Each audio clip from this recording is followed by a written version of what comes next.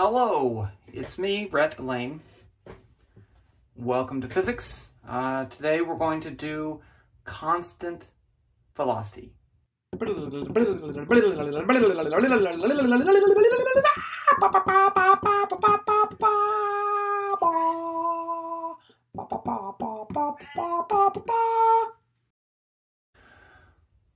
Okay, so here I have a prop. I was going to make an animation, but I said, hey, no, I'm going to just make a prop. So here's my car, and it's going to be driving along. And look at that, it's driving along, just moving at a constant speed. So one of the things that we do in physics is to try to uh, make models. We want to make a model that describes this thing, so then we can use that model. That model could be an actual model. This is this is a model of an actual car. Look, see, I drew it. Look at that. But maybe a more useful model would be to build a mathematical model. So let's say that we want to, uh, we have some measurements here. So I'm just going to put this at zero, and these are in, um, let's say 10 meters, 20, 30, 40, negative 10. This is the x-axis. I'm starting off here in one dimension, uh, just because it's going to make things easier. We'll go into multiple dimensions later. Okay, so let's say, let's say, suppose that I want to describe the motion of this car as it moves along this x-axis. Okay, I'm to, let's say it starts right here, and then every second it moves 10 meters. So one, two, three, four, five. I wonder if I'm actually moving at a constant velocity. I think it's pretty close. Okay, so at t equals zero, let's put let's make a data table t, x. So 0, negative 30 meters.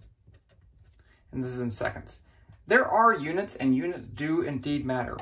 And then we're at one second, negative 20. And then we have negative, I'm sorry, two seconds. I do make mistakes. And it's okay to make mistakes. Just scratch it out, no big deal. Negative 10, 3, 0, 4, 10, 5, 20. Like that. And it goes on. So now let's suppose that I wanted to make a graph of this motion.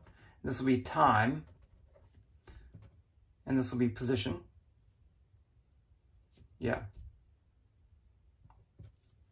I had to think for a second in meters.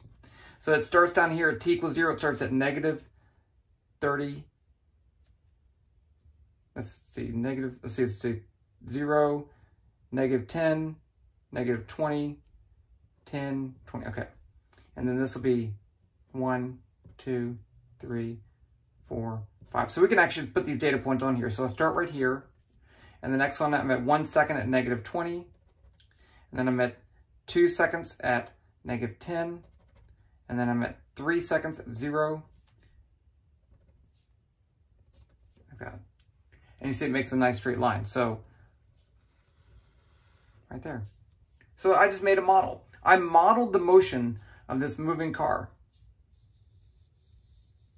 Just like that. Are there too many shadows here? I don't know. Let's just move on. Okay, so this graph is a model of the motion of the car. And so you can see it's a straight line. It has a slope, which would be the change in x over the change in time because it's rise or run. So in, in physics, we write this as uh, delta as the change in. So that means I could take any two points in this graph. Let's take this one and that one. I'm just going to be, and I'm going to find, use those two points to find the slope.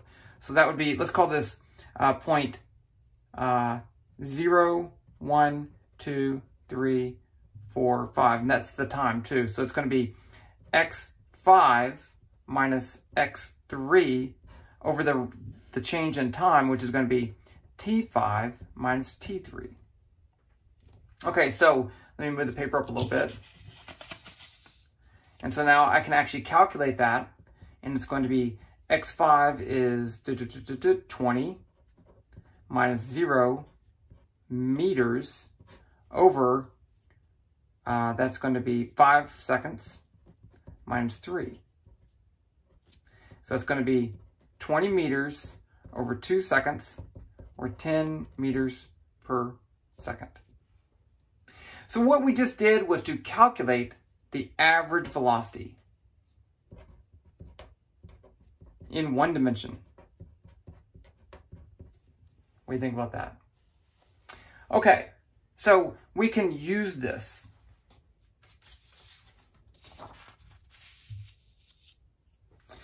So let's say that I have average velocity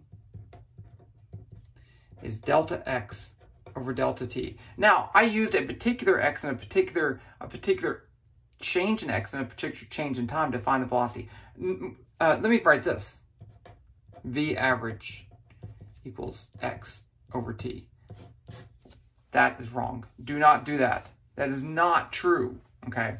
Now, there's some cases that it may be equivalent to being true, but it's not actually true, so don't, don't do that. It's the change in x or the change in time. And you can see here at x equals 0, if I go back to that graph, if I just do x over t, then this, if I take uh, x of 0, t of 3, I get 0 over 3, or 0 meters per second. That's not the velocity, okay?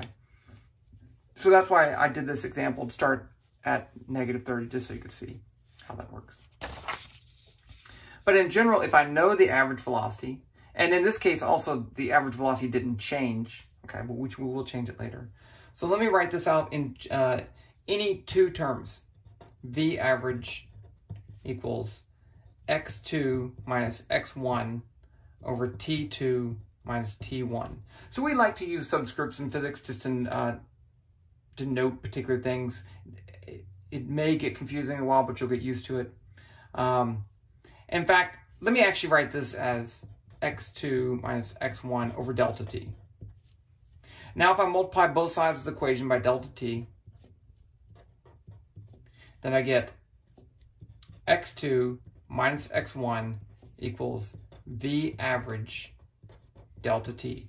Now I'm going to add x1 to both sides, and then I get x2 equals x1 plus v average delta t. This is a very, very useful equation.